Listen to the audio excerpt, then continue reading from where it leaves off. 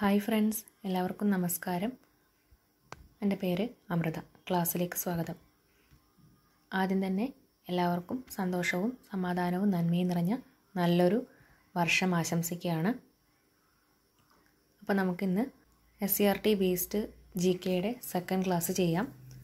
അപ്പോൾ നമ്മളിന്ന് പഠിക്കാൻ പോകുന്നത് ആറാം ക്ലാസ്സിലെ സാമൂഹ്യശാസ്ത്രത്തിന്റെ ഒന്നാം ഭാഗത്തിൽ നിന്നുള്ള കേരളം മണ്ണും മഴയും മനുഷ്യനും എന്ന ചാപ്റ്ററിൽ നിന്ന് നമ്മൾ പഠിച്ചിരിക്കേണ്ട പി എസ് സി എക്സാമിന് വേണ്ടി നമ്മൾ പഠിച്ചിരിക്കേണ്ട ജി കെ ആണ്. അപ്പോൾ അതിൽ പറഞ്ഞിരിക്കുന്നത് മാത്രമാണ് നമ്മൾ പഠിക്കാൻ പോകുന്നത്. അപ്പോൾ നമുക്ക് നോക്കാം. അപ്പോൾ ആദ്യം നമ്മൾ S C R T based G കെയുടെ ഫസ്റ്റ് ക്ലാസ്സിൽ പഠിച്ചിരിക്കുന്ന കാര്യങ്ങൾ തന്നെയാണ്. അത് കുറച്ചുകൂടി വിപുലമായിട്ടാണ് ഈ ഒരു ചാപ്റ്ററിൽ പറഞ്ഞിരിക്കുന്നത്. അപ്പോൾ ചിലപ്പോൾ അതിൽ പറഞ്ഞ പോയിന്റ്സും ഇവിടെ ഉണ്ടാകും. അപ്പോൾ അത് റിവിഷൻ എന്നുള്ള രീതിയിൽ പഠിക്കുകയും ചെയ്യാം. അപ്പോൾ ആദ്യം പറഞ്ഞിരിക്കുന്നത് മലനാടിനെക്കുറിച്ച് വിശദമായിട്ടുള്ള കുറച്ച് കാര്യങ്ങളാണ്. കേരളത്തിന്റെ കിഴക്കൻ പ്രദേശങ്ങളാണ് മലനാട്ടിൽ വരുന്നത്. കേരളത്തിന്റെ കിഴക്കൻ പ്രദേശങ്ങളാണ് മലനാട്ടിൽ വരുന്നത്. അതുപോലെ അവിടെ വരുന്നത് മഴ മഞ്ഞ് തണുപ്പ് ഇവയൊക്കെ കൂടുതലായിരിക്കും. മഴ മഞ്ഞ് തണുപ്പ് ഇവയൊക്കെ കൂടുതലായിരിക്കും മലനാട്ടിൽ വരുന്നത്. സമുദ്രനിരപ്പിൽ നിന്നും വളരെ ഉയരത്തിൽ സ്ഥിതി ചെയ്യുന്ന സഹ്യപർവതനിരയുടെ ഭാഗം ആണ് മലനാട് എന്ന് പറയുന്നത്. സമുദ്രനിരപ്പിൽ നിന്നും വളരെ ഉയരത്തിൽ സ്ഥിതി ചെയ്യുന്ന സഹ്യപർവതനിരയുടെ ഭാഗമാണ് മലനാട്. അവിടെയുള്ള കൃഷി അവിടെ കൃഷി ചെയ്യുന്ന വിളകൾ എന്ന് പറയുന്നത് ഏലം തേയില തുടങ്ങിയവയാണ്. അപ്പോൾ ഇതൊക്കെ കൃഷി ചെയ്യുന്നതിന് ആവശ്യമായിട്ടുള്ള ഭൂമിശാസ്ത്ര ഘടകങ്ങൾ ഏതൊക്കെയാണെന്ന് നോക്കാം. അപ്പോൾ ഭൂമിശാസ്ത്ര ഘടകങ്ങൾ ഒന്ന് താപനില മുപ്പത് ഡിഗ്രി സെൽഷ്യസിൽ കുറവായിരിക്കും. താപനില മുപ്പത് ഡിഗ്രി സെൽഷ്യസിൽ കുറവായിരിക്കും. ധാരാളമായി ലഭിക്കുന്ന മഴ നീർവാർച്ചയുള്ള മണ്ണ്. അപ്പോൾ ഏലം തേയില തുടങ്ങിയവ കൃഷി ചെയ്യാനുള്ള ഭൂമിശാസ്ത്ര ഘടകങ്ങൾ എന്ന് പറയുന്നത് താപനില മുപ്പത് ഡിഗ്രി സെൽഷ്യസിൽ കുറവായിരിക്കും. ധാരാളമായി ലഭിക്കുന്ന മഴ അതുപോലെ നീർവാർച്ചയുള്ള മണ്ണ്.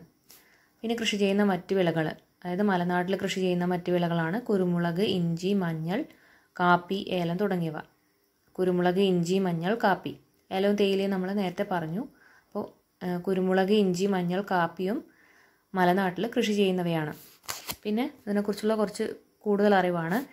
ഇന്ത്യയിലെ റബ്ബർ കൃഷിയുടെ പിതാവ് എന്നറിയപ്പെടുന്നത് ജോൺ ജോസഫ് മർഫിയാണ്. അയർലൻഡുകാരനായ ജോൺ ജോസഫ് മർഫിയാണ് ഇന്ത്യയിലെ റബ്ബർ കൃഷിയുടെ പിതാവ് എന്നറിയപ്പെടുന്നത്. അപ്പോൾ ഇത് ഒരു ഇമ്പോർട്ടന്റ് പോയിന്റ് ആണ്. ഇന്ത്യയിലെ റബ്ബർ കൃഷിയുടെ പിതാവ് എന്നറിയപ്പെടുന്നത് അയർലൻഡുകാരനായ John Joseph മർഫിയാണ്. John Joseph Murphy. പിന്നെയുള്ളൊരു point പെരിയാറിന്റെ തിരക്ക് തീരത്ത് ആലുവായ്ക്കടുത്താണ്. റബ്ബർ കൃഷി ആദ്യമായി അത് ആയിരത്തി തൊള്ളായിരത്തി രണ്ടിലാണ് പെരിയാറിന്റെ തിരക്ക് തീരത്ത് ആലുവായ്ക്കടുത്ത് ആയിരത്തി തൊള്ളായിരത്തി രണ്ടിലാണ് റബ്ബർ കൃഷി ആദ്യമായി തുടങ്ങുന്നത്. വാണിജ്യാടിസ്ഥാനത്തിൽ കോട്ടയം ജില്ലയിൽ മുണ്ടക്കയത്തിനടുത്ത് ഏന്തയാറാണ് റബ്ബർ കൃഷി ആരംഭിച്ചത്. അപ്പോൾ ആദ്യമായി കേരളത്തിലെ റബ്ബർ കൃഷി ആരംഭിച്ചത് പെരിയാറിന്റെ തീരത്ത് ആലുവായ്ക്കടുത്ത് ആയിരത്തി തൊള്ളായിരത്തി രണ്ടിലാണ് വാണിജ്യാടിസ്ഥാനത്തിൽ ചോദിച്ചാൽ കോട്ടയം ജില്ലയിലാണ്. സ്ഥലം മുണ്ടക്കയത്തിനടുത്ത് ഏന്തയാറാണ്. മുണ്ടക്കയത്തിനടുത്ത് ഏന്തയാറാണ്. ഇത് വളരെ ഇമ്പോർട്ടന്റ് ആയിട്ടുള്ള പോയിന്റാണ് പിന്നെ വരുന്നത് ഇടനാടാണ്. ഇടനാടിനെ കുറിച്ച് ഏകദേശം ഒരു ഐഡിയ നമ്മൾ കഴിഞ്ഞ ക്ലാസ്സിൽ മനസ്സിലാക്കിയിട്ടുണ്ട്. അപ്പോൾ അതിന്റെ കുറച്ചുകൂടി വിപുലമായ കാര്യങ്ങളാണ് നോക്കുന്നത്. തീരപ്രദേശത്തിനും മലനാട്ടിലും ഇടയിലാണ് സ്ഥിതി ചെയ്യുന്നത്. അപ്പോൾ അവിടെയുള്ള വിളകൾ എന്ന് പറയുന്നത് ഭക്ഷ്യധാന്യങ്ങൾ പച്ചക്കറികൾ കിഴങ്ങുവർഗങ്ങൾ പിന്നെ റബ്ബർ കുരുമുളക്. ഭക്ഷ്യധാന്യങ്ങൾ പച്ചക്കറികൾ കിഴങ്ങുവർഗങ്ങൾ റബ്ബർ കുരുമുളക്.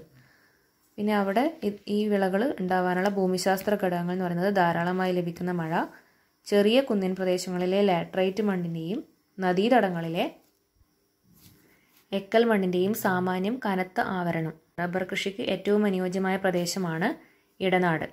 അതുപോലെ കൃഷി ചെയ്യുന്ന മറ്റു വിളകളാണ് മരച്ചീനി കാച്ചിൽ ചേന ഏത്തവാഴ. മരച്ചീനി കാച്ചിൽ ചേന ഏത്തവാഴ. അടുത്ത തീരപ്രദേശത്തിന്റെതാണ് പറയുന്നത്.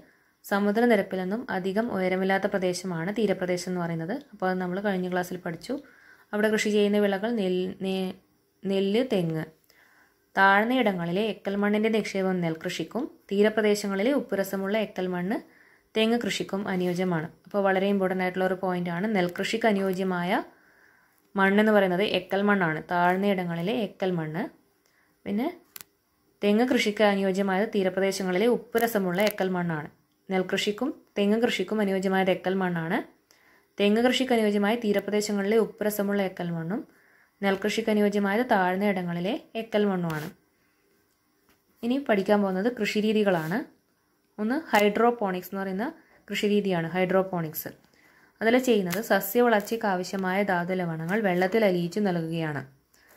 വേരുകൾക്ക് പടരാൻ തൊണ്ട് ചരൽ തുടങ്ങിയ വസ്തുക്കൾ നൽകുന്നു. ഹൈഡ്രോപോണിക്സ് എന്ന കൃഷിരീതിയിൽ സസ്യങ്ങൾ സസ്യങ്ങളുടെ വളർച്ചയ്ക്ക് ആവശ്യമായിട്ടുള്ള ധാതു ലവണങ്ങൾ വെള്ളത്തിൽ അലിയിച്ചു കൊടുക്കും. അതുപോലെ വേരുകൾക്ക് പടരാൻ വേണ്ടിയിട്ട് തൊണ്ട് ചരൽ തുടങ്ങിയ വസ്തുക്കൾ കൊടുക്കും. അടുത്തത് വെർട്ടിക്കൽ നെറ്റ് ഫാമിംഗ് ആണ്. Vertical net farming net farming. അതിൽ നമ്മൾ ചെയ്യുന്നത് മുളയിലോ കമ്പുകളിലോ വില കുറഞ്ഞ വല കുത്തനെ വലിച്ചു കെട്ടുകയാണ്. മുളയിലോ കമ്പുകളിലോ വില കുറഞ്ഞ വല കുത്തനെ വലിച്ചു കെട്ടുന്നു. പയർ പാവൽ തുടങ്ങിയ വിളകൾ കൃഷി ചെയ്യാനാണ് മെയിനായിട്ട് ഉപയോഗിക്കുന്നത്. പയർ പാവൽ തുടങ്ങിയ അവ കൃഷി ചെയ്യാൻ. പിന്നെയുള്ളത് ജനങ്ങളെ കൃഷി ചെയ്യാൻ പ്രോത്സാഹിപ്പിക്കുന്ന ഒരു സർക്കാർ സ്കീമാണ് vegetable and fruit promotion council V F P C vegetable and fruit promotion council സംസ്ഥാന ഹോർട്ടിക്കൾച്ചർ മിഷൻ. പഴ അതിന്റെ ലക്ഷ്യം എന്ന് പറയുന്നത് പഴങ്ങൾ പച്ചക്കറികൾ സുഗന്ധവിളകൾ കൂണിനങ്ങൾ ഔഷധസ്യങ്ങൾ എന്നിവയുടെ കൃഷി പ്രോത്സാഹിപ്പിക്കുക എന്നതാണ്. അതുപോലെ തേനീച്ച വളർത്തൽ പ്രോത്സാഹിപ്പിക്കുക എന്നതും അതിന്റെ ലക്ഷ്യങ്ങളിൽ ഒന്നാണ്.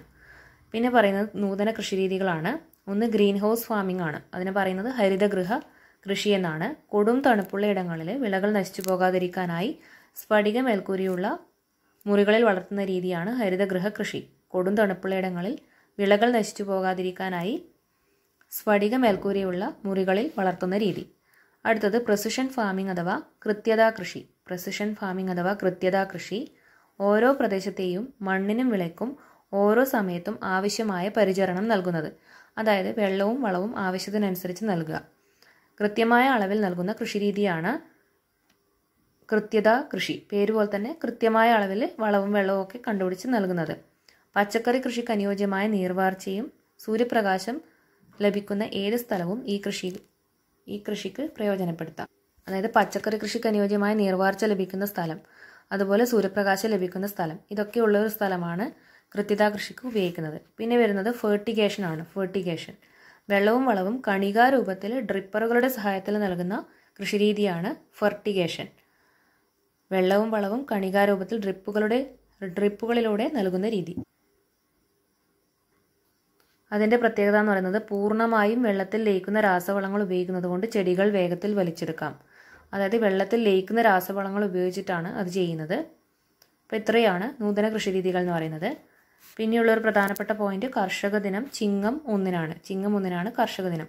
അപ്പോൾ ഇത്രയും കാര്യങ്ങളാണ് ഈ ഒരു ചാപ്റ്ററിൽ പ്രധാനമായിട്ടും പറഞ്ഞിരിക്കുന്നത്. അപ്പോൾ ഇന്നത്തെ ക്ലാസ് ഇവിടെ അവസാനിക്കുകയാണ്.